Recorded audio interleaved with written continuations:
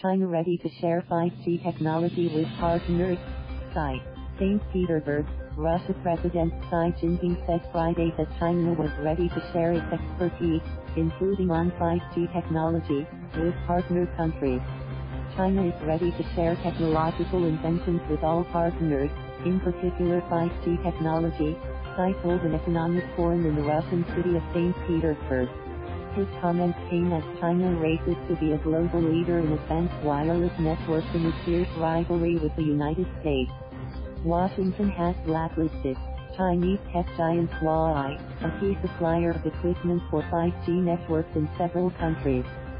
Xi, speaking along with Russian President Vladimir Putin at the forum, said China was looking to build beneficial cooperation on the basis of equality and mutual respect.